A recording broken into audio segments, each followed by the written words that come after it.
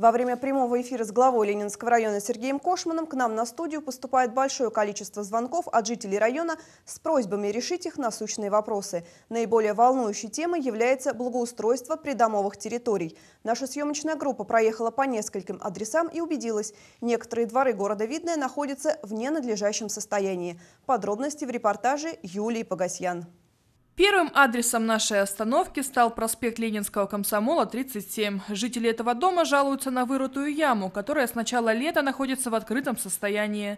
То, что мы увидели, ужаснуло. На территории детской площадки находится яма с торчащими трубами, загороженная лишь хлипенькой железной сеткой. Грязь от земли уже успела разнестись по округе, а впереди сезон дождей. И во что превратится это место к концу месяца, страшно представить. Дети гуляют там э, под ямой, вот это вот лазейка, туда мечи закатываются, они пытаются их достать. Но на детской площадке вообще такого не должно быть. Как оказалось, яма была вырыта компанией «Сити 21 век» по причине прокладки коммуникаций к одному из строящихся микрорайонов.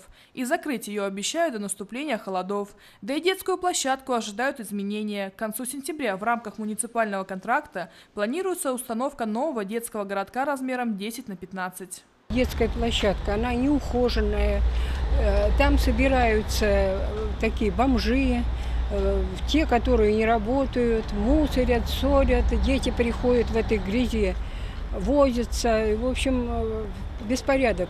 Следующее место, которое мы посетили, ПЛК-7, корпус 1. Жильцы подъезда жалуются на обвалившийся козырек. На него был сброшен тяжелый мусор, после чего штукатурка обрушилась и началось гниение деревянных перегородок.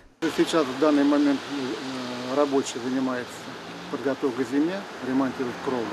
В ближайшие дни освободятся и бросим на этот козырек.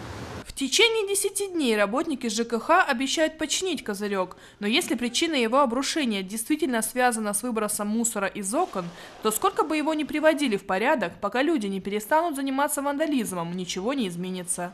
Юлия Погосян и Адамия Антальбуслаева, Видно ТВ.